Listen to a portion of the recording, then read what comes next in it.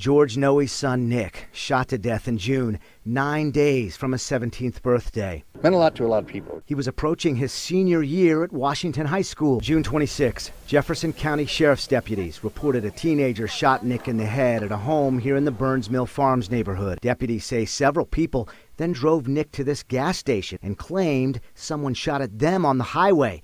Investigators say they got to the bottom of it. It was videotaped. The police know it. Everybody knows it except for this courthouse for some reason.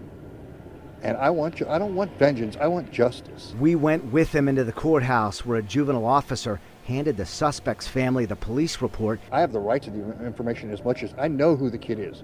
He almost could not find the first hearing because he says everyone told him he has no right to know the name of who is accused of killing his son. Found it by checking every courtroom. He says there's no prosecutor and that attorneys are appointed to represent everyone except him.